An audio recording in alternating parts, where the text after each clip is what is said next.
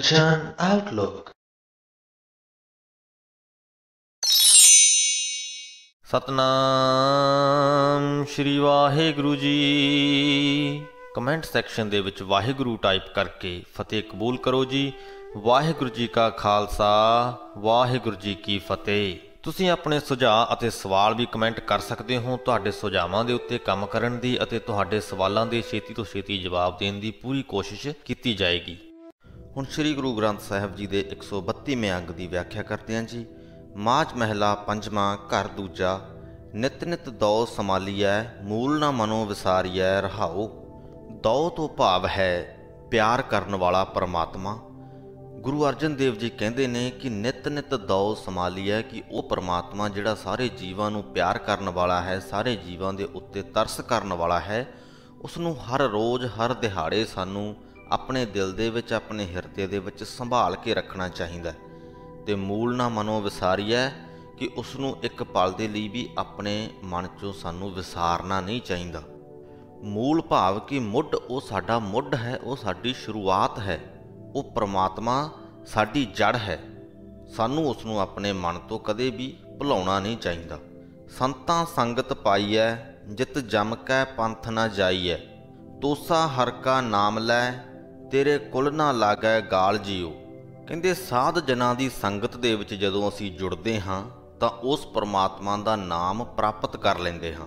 ਤੇ ਜਦੋਂ ਅਸੀਂ ਉਸ ਪਰਮਾਤਮਾ ਦਾ ਨਾਮ ਪ੍ਰਾਪਤ ਕਰ ਲਿਆ, ਤਾਂ ਜਿਤ ਜਮ ਕੈ ਪੰਥ ਨਾ ਜਾਈਐ। ਜਮ ਕਾ ਪੰਥ ਤੋਂ ਭਾਵ ਕਿ ਆਤਮਕ ਮੌਤ ਵੱਲ ਨੂੰ ਲੈ ਕੇ ਜਾਣ ਵਾਲਾ ਰਸਤਾ ਕਿ ਜਦੋਂ ਜਿਤ, ਜਦੋਂ ਅਸੀਂ ਉਸ ਪਰਮਾਤਮਾ ਦਾ ਨਾਮ ਪ੍ਰਾਪਤ ਕਰ ਲਿਆ ਫਿਰ ਅਸੀਂ ਆਤਮਕ ਮੌਤ ਵੱਲ ਨੂੰ ਜਾਂਦੇ ਹੋਏ ਰਸਤੇ ਦੇ ਉੱਪਰ ਨਹੀਂ ਤੁਰਦੇ। ਤੋਸਾ ਹਰਕਾ ਨਾਮ ਲੈ, ਤੋਸਾ ਭਾਵ ਕਿ ਰਸਤੇ ਦੇ ਵਿੱਚ ਵਰਤਿਆ ਜਾਣ ਵਾਲਾ ਖਰਚਾ ਜਾਂ ਰਾਸ਼ਨ ਪਾਣੀ। ਗੁਰੂ ਜੀ ਕਹਿੰਦੇ ਕਿ ਉਸ ਪ੍ਰਮਾਤਮਾ ਦੇ ਨਾਮ ਦਾ ਖਰਚਾ ਆਪਦੇ ਜੀਵਨ ਸਫਰ ਦੇ ਲਈ ਇਕੱਠਾ ਕਰਕੇ ਨਾਲ ਬੰਨ ਲੈ। ਕੁਲੇ ਨਾ ਲਾਗੈ ਗਾਲ ਜੀਓ, ਕੁਲੈ ਭਾਵ ਤੁਹਾਡੀ ਕੁੱਲ, ਤੁਹਾਡਾ ਪਰਿਵਾਰ, ਤੁਹਾਡਾ ਟੱਬਰ ਤੇ ਗਾਲ ਭਾਵ ਬਦਨਾਮੀ। ਕਿ ਜਦੋਂ ਤੁਸੀਂ ਪਰਮਾਤਮਾ ਦੇ ਨਾਮ ਦਾ ਖਰਚਾ ਆਪਣੇ ਨਾਲ ਬੰਨ ਕੇ ਆਪਦੇ ਜੀਵਨ ਸਫਰ ਦੇ ਉੱਤੇ ਚੱਲਦੇ ਹੋ, ਤਾਂ ਤੁਹਾਡੇ ਪਰਿਵਾਰ ਨੂੰ, ਤੁਹਾਡੀ ਕੁੱਲ ਨੂੰ ਕਿਸੇ ਵੀ ਪ੍ਰਕਾਰ ਦੀ ਬਦਨਾਮੀ ਨਹੀਂ ਲੱਗਦੀ, ਕਲੰਕ ਨਹੀਂ ਲੱਗਦਾ, ਤੁਹਾਡਾ ਜੀਵਨ ਸਫਰ ਸੁਖਾਲਾ ਹੋ ਜਾਂਦਾ ਹੈ। ਜੋ ਸਿਮਰੰਦੇ ਸਾਈਐ ਨਰਕ ਨਾ ਸੇਈ ਪਾਈਐ ਤੱਤੀ ਵਾਉ ਨਾ ਲੱਗਈ, ਜਿਨ ਮਨ ਵੁੱਠਾ ਆਏ ਜਿਉ ਜੋ ਸਿਮਰੰਦੇ ਸਾਈਐ ਕਿ ਜੋ ਉਸ ਸਾਈ ਪਰਮਾਤਮਾ ਨੂੰ ਸਿਮਰਦੇ ਨੇ, ਉਸ ਖਸਮ ਪ੍ਰਭੂ ਨੂੰ ਸਿਮਰਦੇ ਨੇ, ਨਰਕ ਨਾ ਸੇਈ ਪਾਈਐ, ਉਹ ਨਰਕਾਂ ਤੋਂ ਬਚ ਜਾਂਦੇ ਨੇ। ਉਹਨਾਂ ਦੇ ਮਨ ਨੂੰ ਨਰਕਾਂ ਦੇ ਵਿੱਚ ਨਹੀਂ ਪਾਇਆ ਜਾਂਦਾ। ਹਰ ਪਲ ਜ਼ਿੰਦਗੀ ਦਾ ਉਹਨਾਂ ਦੇ ਲਈ ਸਵਰਗਾਂ ਵਰਗਾ ਹੀ ਹੁੰਦਾ ਹੈ। ਹਰ ਪਲ ਉਹ ਆਪਣੀ ਜ਼ਿੰਦਗੀ ਦਾ ਆਨੰਦ ਦੇ ਵਿੱਚ ਹੀ ਗੁਜ਼ਾਰਦੇ ਨੇ। ਤੱਤੀ ਵਾਉ ਨਾ ਲੱਗਈ ਜਿਨ ਮਨ ਮਨ ਮੁੱਠਾ ਆਏ ਜਿਉ ਕਿ ਜਿਨ੍ਹਾਂ ਦੇ ਮਨ ਦੇ ਵਿੱਚ ਉਹ ਪਰਮਾਤਮਾ ਆ ਵਸਦਾ ਹੈ, ਉਹਨਾਂ ਨੂੰ ਕਿਸੇ ਵੀ ਪ੍ਰਕਾਰ ਦਾ ਕੋਈ ਦੁੱਖ ਕਲੇਸ਼ ਛੋ ਨਹੀਂ ਸਕਦਾ। ਸੇਈ ਸੁੰਦਰ ਸੋਹਣੇ ਸਾਧ ਸੰਗ ਜਿਨ ਬਹਿਣੇ, ਹਰ ਧਨ ਜਿਨੀ ਸੰਜਿਆ ਸੇਈ ਗੰਭੀਰ ਅਪਾਰ ਜੀਓ। ਕਹਿੰਦੇ ਉਹੀ ਮਨੁੱਖ ਸੋਹਣੇ ਜੀਵਨ ਵਾਲੇ ਹਨ, ਜਿਹੜੇ ਸਾਧ ਸੰਗਤ ਦੇ ਵਿੱਚ ਬੈਠਦੇ ਹਨ। ਸਾਧ ਸੰਗਤ ਦੇ ਵਿੱਚ ਜੁੜ ਕੇ ਉਸ ਪਰਮਾਤਮਾ ਦੇ ਨਾਮ ਦਾ ਸਿਮਰਨ ਕਰਦੇ ਹਨ। ਹਰ ਧਨ ਜਿਨੀ ਸੰਜਿਆ ਸੰਜਿਆ ਤੋਂ ਭਾਵ ਇਕੱਠਾ ਕਰਨਾ, ਕਹਿੰਦੇ ਜਿਨ੍ਹਾਂ ਨੇ ਉਸ ਪਰਮਾਤਮਾ ਦਾ ਨਾਮ ਧਨ ਇਕੱਠਾ ਕਰ ਲਿਆ ਹੈ, ਸੇਈ ਗੰਭੀਰ ਅਪਾਰ ਜਿਉ ਉਹ ਡੂੰਘੇ ਜਿਗਰੇ ਵਾਲੇ, ਡੂੰਘੀ ਸੋਚ ਵਾਲੇ ਬਣ ਜਾਂਦੇ ਹਨ। ਹਰ ਅਮਿਓ ਰਸਾਇਣ ਪੀਵੀਐ, ਮੂੰਹ ਡਿਠੈ ਜਨ ਕਾ ਜੀਵੀਐ। ਕਾਰਜ ਸਭ ਸਵਾਰ ਲੈ, ਨਿਤ ਪੂਜੈ ਗੁਰ ਕੈ ਪਾਵ ਜਿਉ ਪਰਮਾਤਮਾ ਦਾ ਨਾਮ ਅੰਮ੍ਰਿਤ ਪੀਣਾ ਚਾਹੀਦਾ ਹੈ, ਜਿਹੜਾ ਕਿ ਸਾਰੇ ਰਸਾਂ ਦਾ ਸੋਮਾ ਹੈ। ਮੂੰਹ ਡਿੱਠਾ ਜਨ ਕਾ ਜੀਵੀਐ ਤੇ ਜਿਹੜੇ ਪਰਮਾਤਮਾ ਦੇ ਸੇਵਕ ਹਨ, ਉਹਨਾਂ ਦਾ ਮੂੰਹ ਵੇਖਿਆ, ਉਹਨਾਂ ਦੇ ਦਰਸ਼ਨ ਕੀਤਿਆਂ ਆਤਮਿਕ ਜੀਵਨ ਮਿਲਦਾ ਹੈ। ਕਾਰਜ ਸਭ ਸਵਾਰ ਲੈ, ਨਿਤ ਪੂਜੋ ਗੁਰ ਕੇ ਪਾਓ ਜੀਓ। ਕਿ ਤੂੰ ਵੀ ਗੁਰੂ ਦੇ ਲੜ ਲੱਗ, ਗੁਰੂ ਦੇ ਪੈਰਾਂ ਦੀ ਪੂਜਾ ਕਰ। ਇਸਾ ਇਦਾਂ ਕਰਕੇ ਤੂੰ ਆਪਣੇ ਸਾਰੇ ਕੰਮ ਸਵਾਰ ਲੈ। ਹੁਣ ਇੱਥੇ ਇੱਕ ਗੱਲ ਸਮਝਣੇ ਵਾਲੀ ਇਹ ਹੈ ਕਿ ਗੁਰੂ ਦੇ ਪੈਰਾਂ ਦੀ ਪੂਜਾ ਕਰਨ ਦਾ ਮਤਲਬ ਇਹ ਨਹੀਂ ਕਿ ਅਸੀਂ ਕੋਈ ਪੂਜਾ ਵਾਲੀ ਥਾਲੀ ਸਜਾ ਕੇ ਉਹਦੇ ਵਿੱਚ ਧੂਪ ਬੱਤੀਆਂ ਰੱਖ ਕੇ ਗੁਰੂ ਦੇ ਪੈਰਾਂ ਦੇ ਦੁਆਲੇ ਉਹਨੂੰ ਘੁਮਾਈ ਚੱਲੀਏ।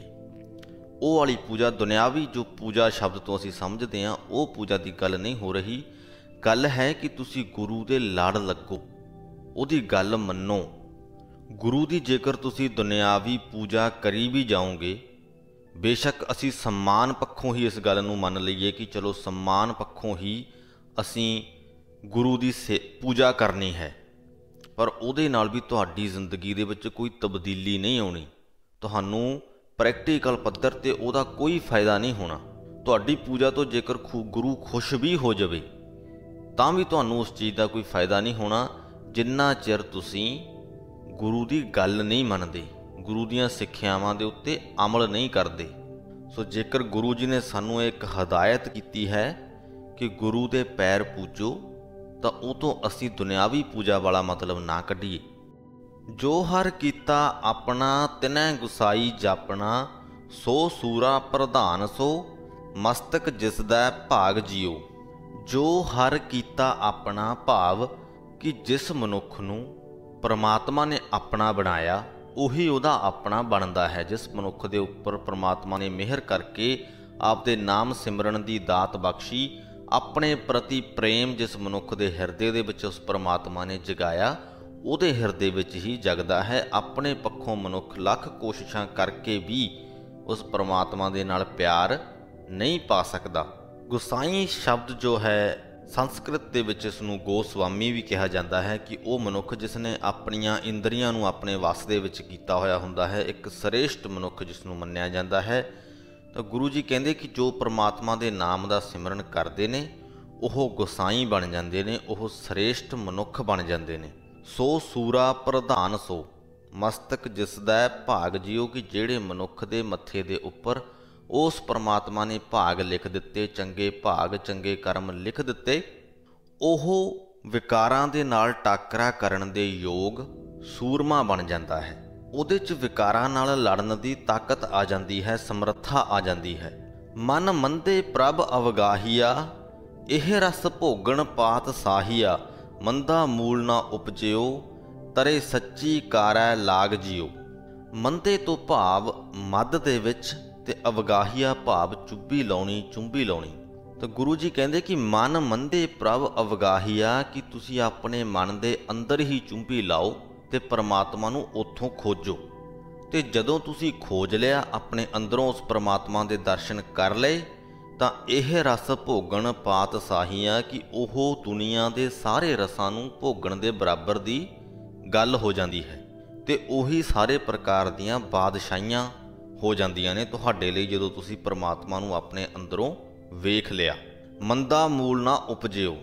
ਤੁਹਾਡੇ ਅੰਦਰ ਵਿਕਾਰ ਪੈਦਾ ਨਹੀਂ ਹੁੰਦੇ, ਤੁਹਾਡੇ ਮਨ ਦੇ ਵਿੱਚ ਵਿਕਾਰ ਪੈਦਾ ਨਹੀਂ ਹੁੰਦੇ, ਮੰਦਾ ਉਪਜਦਾ ਹੀ ਨਹੀਂ। ਤੇ ਤਰੇ ਸੱਚੀ ਕਾਰ ਹੈ, ਲਾਗ ਜਿਓ ਕਿ ਉਸ ਪ੍ਰਮਾਤਮਾ ਦੇ ਨਾਮ ਸਿਮਰਨ ਦੀ ਕਾਰ ਦੇ ਵਿੱਚ ਲੱਗ ਕੇ ਸੰਸਾਰ ਸਮੁੰਦਰ ਤੋਂ ਪਾਰ ਲੰਘ ਸਕੀਦਾ ਹੈ। ਕਰਤਾ ਮਨ ਵਸਾਇਆ, ਜਨਮੈ ਕਾ ਫਲ ਪਾਇਆ। ਮਨ ਭਾਵੰਦਾ ਕੰਤ ਹਰ ਤੇਰਾ, ਥਿਰ ਹੋਆ ਸੁਹਾਗ ਜਿਉ ਜਿਨ੍ਹਾਂ ਮਨੁੱਖਾਂ ਨੇ ਉਸ ਕਰਤੇ ਪ੍ਰਮਾਤਮਾ ਨੂੰ ਆਪਣੇ ਮਨ ਦੇ ਵਿੱਚ ਵਸਾ ਲਿਆ, ਉਹਨਾਂ ਨੇ ਆਪਣੇ ਮਨੁੱਖੇ ਜਨਮ ਦਾ ਫਲ ਪ੍ਰਾਪਤ ਕਰ ਲਿਆ। ਮਨ ਭਾਵੰਦਾ ਕੰਤ ਹਰ ਤੇਰਾ, ਕਿ ਜਦੋਂ ਉਹ ਪ੍ਰਮਾਤਮਾ ਖਸਮ, ਪ੍ਰਮਾਤਮਾ ਕੰਤ ਤੈਨੂੰ ਆਪਣੇ ਮਨ ਦੇ ਵਿੱਚ ਪਿਆਰਾ ਲੱਗਣ ਲੱਗ ਗਿਆ, ਥਿਰ ਹੋਆ ਸੁਹਾਗ ਜਿਉ ਤਾਂ ਸਮਝ ਨਹੀਂ ਕਿ ਤੇਰਾ ਜੋ ਸੁਹਾਗ ਹੈ, ਉਹ ਸਦਾ ਕਾਇਮ ਰਹਿਣ ਵਾਲਾ ਹੋ ਗਿਆ ਤੇਰਾ ਸੁਹਾਗ ਕਦੇ ਖਤਮ ਨਹੀਂ ਹੋਏਗਾ। ਇਹਨਾਂ ਪੰਕਤੀਆਂ ਨੂੰ ਜੀਵ ਇਸਤਰੀ ਦੀ ਉਦਾਹਰਣ ਲੈ ਕੇ ਕਿਹਾ ਗਿਆ ਹੈ। ਅਟਲ ਪਦਾਰਥ ਪਾਇਆ ਭੈ ਭੰਜਨ ਕੀ ਸਰਣ ਆਇਆ।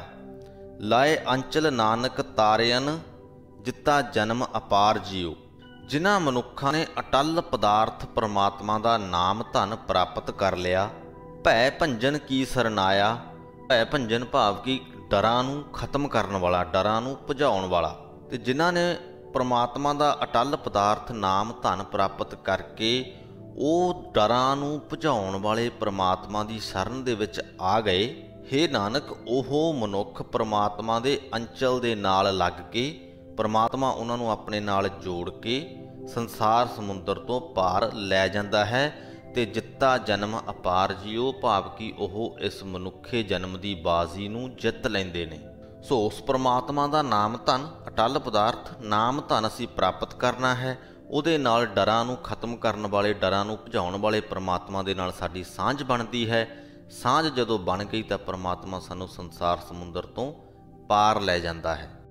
ਅਗਲੀਆਂ ਪੰਕਤੀਆਂ ਇੱਕ ਅਸ਼ਟਪਦੀ ਹੈ ਜੋ ਸ੍ਰੀ ਗੁਰੂ ਗ੍ਰੰਥ ਸਾਹਿਬ ਜੀ ਦੇ 133ਵੇਂ ਅੰਗ ਤੇ ਵਿਰਾਜਮਾਨ ਨੇ, ਪਰ 133ਵੇਂ ਅੰਗ ਤੋਂ 12 ਮਹਾ ਪਾਠ ਦੀ ਵੀ ਸ਼ੁਰੂਆਤ ਹੁੰਦੀ ਹੈ। ਸੋ ਅਸੀਂ ਉਹ ਇੱਕ ਅਸ਼ਟਪਦੀ ਅੱਜ ਵਾਲੀ ਇਸ ਵੀਡੀਓ ਦੇ ਵਿੱਚ ਹੀ ਲੈ ਲੈਂਦੇ ਹਾਂ। ਕੱਲ ਤੋਂ ਵੀਡੀਓ ਆਏਗੀ 133ਵੇਂ ਅੰਗ ਦੀ, ਉੱਥੋਂ ਆਪਾਂ 12 ਮਹਾ ਦੇ ਪਾਠ ਤੋਂ ਹੀ ਉਹਦੀ ਸ਼ੁਰੂਆਤ ਕਰਦੇ ਹਾਂ। ਇੱਕ ਓੰਕਾਰ ਸਤਗੁਰ ਪ੍ਰਸਾਦ ਮਾਜ ਮਹਿਲਾ, ਪੰਜਵਾਂ ਘਰ ਤੀਜਾ। ਹਰ ਜਪ ਜਪੇ, ਮਨ ਧੀਰੇ ਰਹਾਓ। ਕਹਿੰਦੇ ਪ੍ਰਮਾਤਮਾ ਦਾ ਨਾਮ ਜਪਿਆ ਮਨੁੱਖ ਦਾ ਮਨ ਧੀਰ ਜਵਾਨ ਹੋ ਜਾਂਦਾ ਹੈ ਸਬਰ ਸੰਤੋਖ ਵਾਲਾ ਹੋ ਜਾਂਦਾ ਹੈ, ਉਹਦੇ ਅੰਦਰ ਧੀਰਜ ਆ ਜਾਂਦਾ ਹੈ। ਦੁੱਖਾਂ ਸੁੱਖਾਂ ਦੇ ਵਿੱਚ ਉਹ ਡੋਲਦਾ ਨਹੀਂ। ਚਲੋ ਸੁੱਖਾਂ ਦੇ ਵਿੱਚ ਤੇ ਬਹੁਤੇ ਮਨੁੱਖ ਨਹੀਂ ਡੋਲਦੇ। ਕਈ ਸੁੱਖਾਂ ਦੇ ਵਿੱਚ ਵੀ ਡੋਲ ਜਾਂਦੇ ਨੇ, ਜਦੋਂ ਉਹ ਹੋਸ਼ੇ ਹੋ ਜਾਂਦੇ ਨੇ, ਪਰ ਜ਼ਿਆਦਾਤਰ ਮਨੁੱਖ ਦੁੱਖਾਂ ਦੇ ਵਿੱਚ ਜ਼ਰੂਰ ਡੋਲ ਜਾਂਦੇ ਨੇ। ਤੇ ਪ੍ਰਮਾਤਮਾ ਦਾ ਨਾਮ ਜੇਕਰ ਅਸੀਂ ਆਪਣੇ ਮਨ ਦੇ ਵਿੱਚ ਵਸਾ ਲਈਏ ਤਾਂ ਸਾਡੇ 'ਚ ਦੁੱਖਾਂ ਦੇ ਵਿੱਚ ਵੀ ਅਡੋਲ ਰਹਿਣ ਦੀ ਸਮਰੱਥਾ ਆ ਜਾਂਦੀ ਹੈ। ਸਿਮਰ ਸਿਮਰ ਗੁਰਦੇਵ, ਮਿਟ ਗਏ ਭੈ ਦੂਰੇ। ਉਸ ਪਰਮਾਤਮਾ ਨੂੰ, ਉਸ ਗੁਰਦੇਵ ਨੂੰ ਸਿਮਰ ਸਿਮਰ ਕੇ ਆਪਣੇ ਦਿਲ ਦੇ ਵਿੱਚੋਂ ਅਸੀਂ ਭੈ, ਡਰ ਮਿਟਾ ਲੈਂਦੇ ਹਾਂ, ਦੂਰ ਕਰ ਲੈਂਦੇ ਹਾਂ। ਸਰਨ ਆਵੈ ਪਾਰ ਬ੍ਰਹਮ ਕੀ, ਤਾਂ ਫਿਰ ਕਾਹੇ ਝੂਰੇ ਕੀ। ਜਦੋਂ ਤੁਸੀਂ ਉਸ ਪਰਮਾਤਮਾ ਦੀ ਸ਼ਰਨ ਦੇ ਵਿੱਚ ਆ ਗਏ, ਪਰਮਾਤਮਾ ਦੇ ਆਸਰੇ ਦੇ ਵਿੱਚ ਆ ਗਏ ਫਿਰ ਤੁਹਾਨੂੰ ਚਿੰਤਾ ਕਰਨ ਦੀ ਲੋੜ ਨਹੀਂ।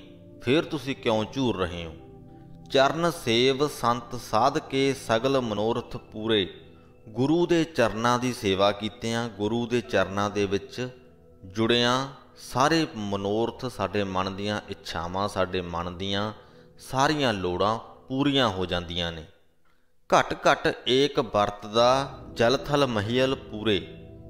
ਗੁਰੂ ਦੇ ਲੜ ਲੱਗਿਆਂ ਇਸ ਗੱਲ ਦਾ ਵੀ ਨਿਸ਼ਚਾ ਹੋ ਜਾਂਦਾ ਹੈ ਕਿ ਜੋ ਪ੍ਰਮਾਤਮਾ ਹੈ, ਉਹ ਘਟ ਘਟ ਭਾਵ ਹਰੇਕ ਸਰੀਰ ਦੇ ਵਿੱਚ ਵਸ ਰਿਹਾ ਹੈ, ਇੱਕ ਸਮਾਨ ਵਸ ਰਿਹਾ ਹੈ, ਇੱਕੋ ਹੀ ਪ੍ਰਮਾਤਮਾ ਦੀ ਜੋਤ ਸਾਰੇ ਸਰੀਰਾਂ ਦੇ ਵਿੱਚ ਮੌਜੂਦ ਹੈ। ਜਲ ਥਲ ਮਹੀਲ ਪੂਰੇ, ਉਹ ਪ੍ਰਮਾਤਮਾ ਪੂਰਨ ਤੌਰ ਤੇ ਜਲ ਦੇ ਵਿੱਚ, ਥਲ ਦੇ ਵਿੱਚ ਤੇ ਆਕਾਸ਼ ਦੇ ਵਿੱਚ ਮੌਜੂਦ ਹੈ। ਪਾਪ ਵਿਨਾਸ਼ਨ ਸੇਵਿਆ ਪਵਿੱਤਰ ਸੰਤਨ ਕੀ ਧੂਰੇ। ਕਹਿੰਦੇ ਜਿਹੜੇ ਮਨੁੱਖ ਸੰਤ ਜਨਾਂ ਦੀ ਚਰਨ ਧੂੜ ਲੈ ਕੇ ਸਾਰੇ ਪਾਪਾਂ ਦੇ ਨਾਸ਼ ਕਰਨ ਵਾਲੇ, ਪਾਪ ਵਿਨਾਸ਼ਨ, ਕਿ ਪਾਪਾਂ ਦਾ ਵਿਨਾਸ਼ ਕਰਨ ਵਾਲੇ ਪਰਮਾਤਮਾ ਨੂੰ ਸਿਮਰਦੇ ਹਨ, ਉਹ ਸੁੱਚੇ ਜੀਵਨ ਵਾਲੇ, ਪਵਿੱਤਰ ਜੀਵਨ ਵਾਲੇ ਬਣ ਜਾਂਦੇ ਹਨ। ਹੁਣ ਇੱਥੇ ਫਿਰ ਸੰਤਾਂ ਦੇ ਚਰਨਾਂ ਦੀ ਧੂੜ। ਇਸ ਗੱਲ ਦਾ ਵੀ ਸਾਡੇ ਮਨੁੱਖੀ ਦਿਮਾਗ ਨੇ ਕੁਝ ਹੋਰ ਹੀ ਮਤਲਬ ਕੱਢ ਲਿਆ ਹੈ। ਅੱਜ ਵੀ ਕਈ ਅਜਿਹੇ ਮਨੁੱਖ ਮਿਲ ਜਾਣਗੇ ਜਿਹੜੇ ਕਿ ਕਈ ਮਨੁੱਖਾਂ ਨੂੰ ਸੰਤ ਸਮਝਦੇ ਨੇ, ਜਿੱਦਾਂ ਕਿ ਬਹੁਤ ਸਾਰੇ ਡੇਰੇ ਬਣੇ ਹੋਏ ਨੇ ਡੇਰਿਆਂ ਦੇ ਵਿੱਚ, ਜੋ ਵੀ ਸੰਤ ਬਣੇ ਹੋਏ ਨੇ ਮਨੁੱਖ ਆਪਣੇ ਆਪ ਨੂੰ ਸੰਤ ਸਮਝਦੇ ਨੇ ਤੇ ਉਹਨਾਂ ਦੇ ਜੋ ਭਗਤ ਨੇ, ਉਹ ਵੀ ਉਹਨਾਂ ਨੂੰ ਸੰਤ ਸਮਝਦੇ ਨੇ ਤੇ ਉਹ ਭਗਤ ਉਹਨਾਂ ਦੇ ਜਿੱਥੋਂ ਦੀ ਉਹ ਲੰਘ ਗਏ, ਉਹ ਮਿੱਟੀ ਇਕੱਠੀ ਕਰ ਲੈਂਦੇ ਨੇ ਤੇ ਉਸੇ ਨੂੰ ਹੀ ਉਹ ਸੰਤ ਜਨਾਂ ਦੇ ਚਰਨਾਂ ਦੀ ਧੂੜ ਸਮਝ ਬੈੰਦੇ ਨੇ। ਤੇ ਅਜਿਹਾ ਅਗਿਆਨਤਾ ਦੇ ਕਾਰਨ ਹੁੰਦਾ ਹੈ ਜਦੋਂ ਅਸੀਂ ਸ਼ਬਦਾਂ ਨੂੰ ਜਿਉਂ ਦੀ ਤਿਉਂ ਹੀ ਲੈ ਲੈਂਦੇ ਹਾਂ, ਉਹਨਾਂ ਦੇ ਅੰਦਰ ਲੁਕੇ ਹੋਏ ਮਤਲਬ ਨੂੰ ਨਹੀਂ ਸਮਝਦੇ।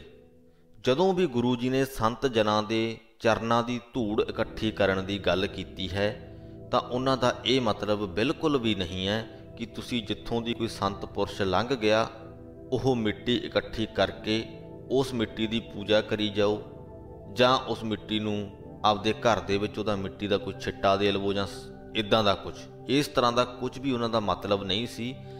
ਸਾਡੇ ਗੁਰੂ ਸਾਹਿਬਾਨਾਂ ਦਾ ਮਤਲਬ ਇਹ ਸੀ ਕਿ ਸੰਤ ਜਨਾਂ ਦੇ ਲੜ ਲੱਗੋ, ਉਹਨਾਂ ਦੀਆਂ ਸਿੱਖਿਆਵਾਂ ਨੂੰ ਸਮਝੋ।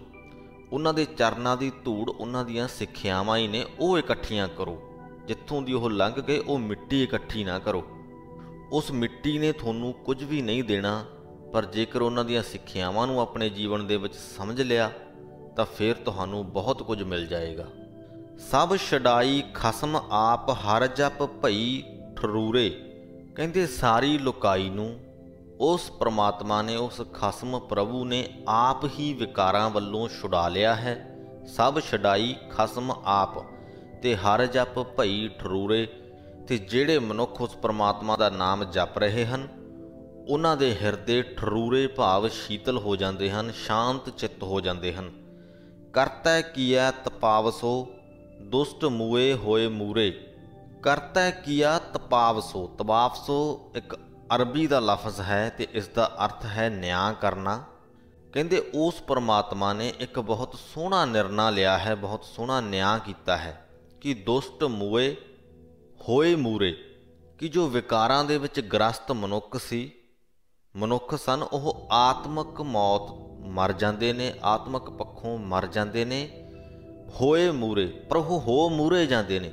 ਮੂਰਾ ਸ਼ਬਦ ਜੋ ਹੈ, ਉਸ ਲਈ ਵਰਤਿਆ ਗਿਆ ਹੈ, ਜਿਸ ਤਰ੍ਹਾਂ ਕਿ ਕਿਸੇ ਜਾਨਵਰ ਦੀ ਖੱਲ ਲਾ ਲਈ ਜਾਵੇ ਤੇ ਫਿਰ ਉਹਦੇ ਵਿੱਚ ਘਾਹ ਫੂਸ ਭਰ ਕੇ ਉਸ ਖੱਲ ਨੂੰ ਚੰਗੀ ਤਰ੍ਹਾਂ ਸਿਉਂ ਦਿੱਤਾ ਜਾਵੇ। ਹੁਣ ਉਹ ਵੇਖਣ ਨੂੰ ਬਿਲਕੁਲ ਅਸਲੀ ਜਾਨਵਰ ਲੱਗਦਾ ਹੈ, ਪਰ ਅਸਲੀਅਤ ਦੇ ਵਿੱਚ ਉਹ ਮਰ ਚੁੱਕਿਆ ਹੁੰਦਾ ਹੈ। ਤਾਂ ਗੁਰੂ ਜੀ ਕਹਿੰਦੇ ਕਿ ਜਿਹੜੇ ਮਨੁੱਖ ਵਿਕਾਰਾਂ ਦੇ ਵਿੱਚ ਗ੍ਰਸਤ ਨੇ, ਉਹ ਆਤਮਿਕ ਪੱਖੋਂ ਮਰ ਚੁੱਕੇ ਨੇ, ਪਰ ਸਾਨੂੰ ਸਾਹਮਣੇ ਜਿਉਂਦੇ ਫਿਰਦੇ ਵੀ ਦਿਸਦੇ ਨੇ। ਉਹ ਸਿਰਫ ਦੇਖਣ ਨੂੰ ਜਿਉਂਦੇ ਨੇ, ਅੰਦਰੋਂ ਉਹ ਖਤਮ ਨੇ, ਅੰਦਰੋਂ ਉਹ ਮਰ ਚੁੱਕੇ ਨੇ।